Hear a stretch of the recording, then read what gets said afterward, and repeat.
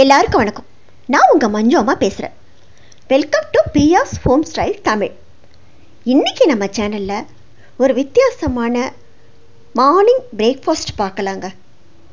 எப்போ பார்த்தாலும் இட்லி தோசை பூரி பொங்கல் அப்படின்னு நம்ம சாப்பிட்றது இது கொஞ்சம் வித்தியாசமாக இருக்கும். இது நான் செய்யலைங்க என்னோட மருமக செய்கிறாங்க ஸ்டவ்வில் குக்கர் வச்சு ஒரு நாலஞ்சு ஸ்பூன் எண்ணெய் ஊற்றிருக்கோங்க அந்த எண்ணெய் காஞ்சப்புறம் கடுகு உளுத்தம் பயிறு அப்புறம் ஒரு ஒரு ஸ்பூன் அளவுக்கு கடலைப்பருப்பு. இது தேவைப்பட்டால் அதிகமாக கூட போட்டுக்கலாம். நாங்கள் கொஞ்சமாக தான் போட்டிருக்கோம். இப்போ கடுகு உளுத்தம் பயிறு கடலைப்பருப்பு இதெல்லாம் பொறிஞ்சப்புறம் காஞ்ச மிளகா போட்டிருக்கோங்க ஒரு நாலு காஞ்ச மிளகா போட்டிருக்கோம். கிள்ளி போடணுங்க. காரம் வேணும்னா இன்னும் கொஞ்சம் கூட போட்டுக்கலாம். நாங்கள் திட்டமாக போட்டிருக்கோம். கொஞ்சம் அப்புறம் கறிவேப்பிலை போடணும். கறிவேப்பிலை எல்லாமே பொறிஞ்சப்புறம் நம்ம ஒரே ஒரு பெரிய ஆனியன் கட் பண்ணி நீட் நீட்டாக கட் பண்ணி போட்டிருக்கோம். இது எல்லாமே பொறுமையாக வதக்கணும். இது வதக்கி முடிச்சப்புறம் இதுக்கு ஏறக்குற ஒரு இருபது இருபத்தஞ்சு பல் பூண்டு எடுத்துக்கணுங்க. அப்படியே ஒன்று பாதிமாக நசுக்கிக்கணும். நல்லா நசுக்கக்கூடாது ஒன்று பாதிமாக நசுக்கி அது கூட சேர்த்து நம்ம வதக்கணும். இதுக்கு பூண்டு தாங்க நல்ல டேஸ்ட்டு அதனால் ஒரு இருபத்தஞ்சு பூண்டு வாக்கில் எடுக்கணுங்க.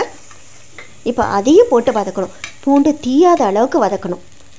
பாருங்கள் நல்லா எல்லாமே ஓரளவுக்கு வதங்கி வருது. இந்த டைமில் இதுக்கு உப்பு போட்டுக்கணும். திட்டமாக கொஞ்சம் போட்டுக்கணும்.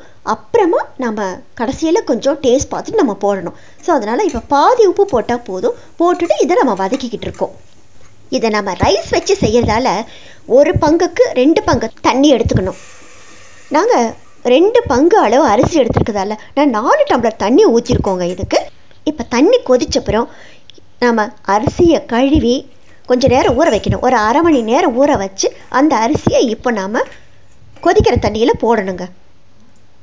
போட்டுட்டு நல்லா மிக்ஸ் பண்ணி விட்டுணும் இப்போ இந்த டைமில் ஒரு ஸ்பூன் அளவுக்கு நெய் ஊற்றிக்கணுங்க இதுக்கு நெய் ஃப்ளேவரும் ரொம்ப அவசியம். அதில் ஒரு ஸ்பூன் அளவுக்கு ஒரு ஃபுல் ஸ்பூன் நெய் ஊற்றிக்கிறோம் ஊற்றிட்டு நல்லா கரண்டியால் மிக்ஸ் பண்ணி விடணுங்க. இப்போது இதுக்கு இன்னும் கொஞ்சம் ஃப்ளேவர் வேணும். ஸோ அதுக்காக கொஞ்சம் பெருங்காயம் ஒரு மூணு ப்ரெஸ் அளவு. அதாவது ஸ்பூனில் ஒரு கால் ஸ்பூனுக்கு கொஞ்சம் கம்மியாக பெருங்காயம் போடுறோங்க. இது எல்லாம் போட்டுட்டு கொஞ்சம் நல்லா மிக்ஸ் பண்ணி விடணும். இப்போது இது எல்லாத்தையும் மிக்ஸ் பண்ணி விட்டுட்டு நாம் மூடி போட்டு மூடி வைக்கணுங்க. மூடிட்டு குக்கர் வெயிட்டு போட்டுட்டு ஒரு அஞ்சு விசில் அளவுக்கு விட்டுணும். சாதம் வைக்கிற மாதிரி அதே மாதிரி அஞ்சு விசில் வச்சுட்டு ஒரு அஞ்சு நிமிஷம் சிம்மில் வைக்கணுங்க. அப்போ தான் நமக்கு சாதம் நல்லா கொஞ்சம் உதிரியாக நல்லா கிடைக்கும். இப்போ பாருங்கள் அதே மாதிரி அஞ்சு விசில் வச்சு ஒரு அஞ்சு நிமிஷம் சிம்மில் வச்சோம். நமக்கு சாதம் நல்லா உதிரியாக வந்திருக்கு. இப்போ ஃபைனலாக இன்னும் கொஞ்சம் நெய் விடணும். அப்போ அந்த ஃப்ளேவர் இன்னும் சூப்பராக இருக்குங்க. இது வெறுமனே சாப்பிட்றதுக்கு அவ்வளோ நல்லா இருக்கும். இதுக்கு சைடிஷ் வேண்டாம் ஒன்றும் வேண்டாம். அந்த அளவுக்கு அருமையாக இருக்குங்க இது. பாருங்க நமக்கு சூப்பரான நமக்கு ஒரு பிரேக்ஃபாஸ்ட் கிடச்சிருச்சு. இதுக்கு பேர் ஹவுஸ்ன்னு சொல்லுவாங்கங்க. இதை நிறைய பேர் நிறைய விதமாக செய்வாங்கங்க. என்னுடைய மருமக இந்த மெத்தடில் செய்கிறாங்க இவங்க செய்கிறது எங்களுக்கு ரொம்ப பிடிக்குங்க. அவ்வளோ அளவுக்கு நல்லா டேஸ்டாகவும் ஒரு நல்லா குழந்தைங்களுக்கும் பிடிக்கிற அளவுக்கு நல்லா செஞ்சுருக்காங்கங்க.